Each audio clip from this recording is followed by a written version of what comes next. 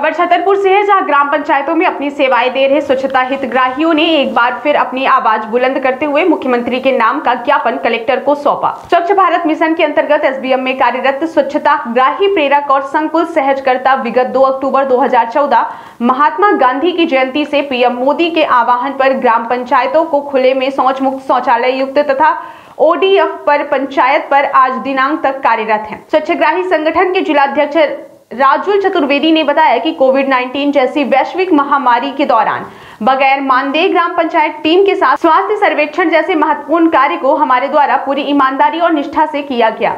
आज हम सभी मुख्यमंत्री मध्य प्रदेश शासन से मांग करते हैं कि हम सभी स्वच्छता हितग्राहियों को तत्काल नियमित किया जाए। अन्यथा की स्थिति में, अन्यथा इस स्थिति में हम सभी उग्र आंदोलन करने को मजबूर होंगे। ज्ञापन सौंपने के दौरान बड़ी संख्या में ज़िले भर से आए स्वच्छता हितग्राही मौजूद रहे। मांगे पूरी करो। पूरी करो पूरी करो। हमारा मानदेय लागू करो।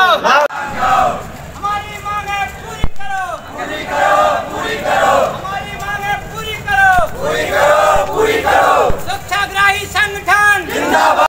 गए हैं तो हम लोग वोट नहीं डालते वो रोज़गार सहायता कर रहे हैं।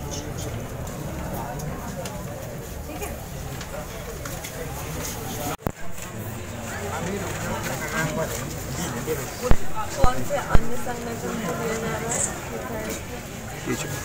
हाँ? इसमें लिखा है स्वच्छाग्रही के हिस्से का कार्य अन्य संगठनों को दिया जा रहा है कौन से तो सहज कहता विगत दो अक्टूबर 2014 से देश के यशस्वी प्रधानमंत्री नरेंद्र मोदी जी के आह्वान पर हमारे देश को खुले में स्वच्छ मुक्त शौचालय युक्त ओडीएफ प्लस पर है हम पंचायत स्तर पर आज ही दिनांक कार्यरत हैं और विज्ञापन सुरक्षा जिसमें हम लोगों की सात सूत्रीय मांगे हैं। से श्री माननीय मुख्यमंत्री जी, मध्य प्रदेश शासन, मध्य प्रदेश भोपाल जहाँ गाय में संकुल सहजकर्ताओं को नियमित मानदेय, निश्चित मानदेय प्रदान करने की नीति संबंध।